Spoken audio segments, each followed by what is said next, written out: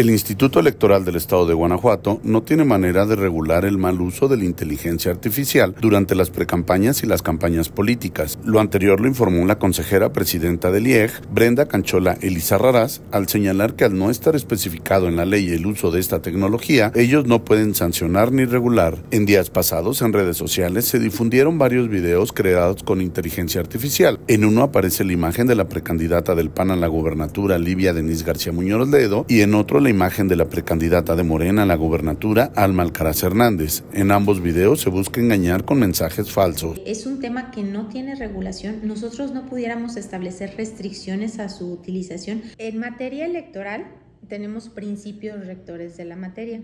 Uno de los principios es el principio de legalidad.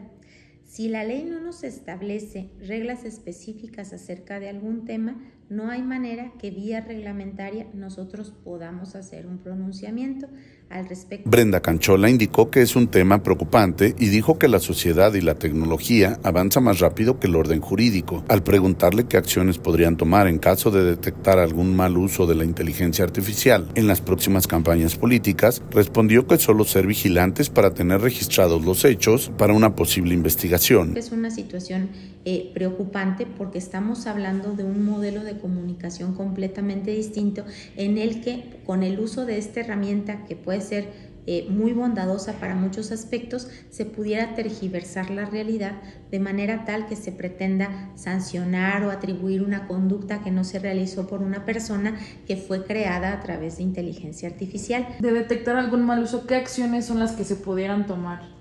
Lo único que tenemos, y aquí vuelvo al, al, marco normativo, lo único que tenemos como referencia es, por ejemplo, encuadrar eh, el, el, el hecho. Para el sistema de noticias de TV Libertad, Mike García.